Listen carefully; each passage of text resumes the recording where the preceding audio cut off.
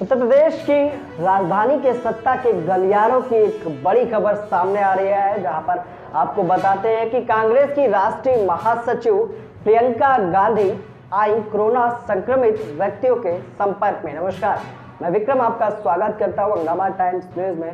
प्रियंका गांधी राष्ट्रीय महासचिव कांग्रेस पार्टी द्वारा एक वीडियो जारी किया गया है, जहाँ पर इस वीडियो में बताया गया कि किस तरह से कोरोना संक्रमित व्यक्तियों के संपर्क में प्रियंका गांधी आई और जिससे उन्होंने अपनी जाँच कराई, लेकिन जाँच की रिपोर्ट निगेटिव आई है, लेकिन फिर भी डॉक्टरों की सलाह पर उन्होंने अपने असम दौरे को रद्द किया और वहीं पर कार्यकर्ताओं से उन्होंने इस वीडियो के माध्यम से क्षमा भी मांगी और बताया कि किस तरह से कोरोना संक्रमित व्यक्तियों के संपर्क में आने से डॉक्टरों की सलाह पर उन्होंने असम दौरे को रद्द किया ये डालते हैं एक बड़ी खबर पर नज़र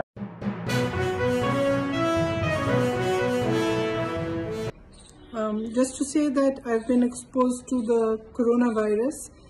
Um, so although I tested negative yesterday, the doctors have advised that I self-isolate for a few days.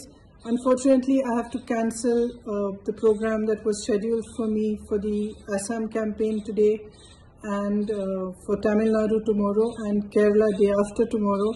Um, I'd like to apologize to everybody for not being able to be there and uh, I wish all the candidates that I was supposed to campaign for the very, very best in the election. I hope all of you do well and the Congress is victorious. Thank you.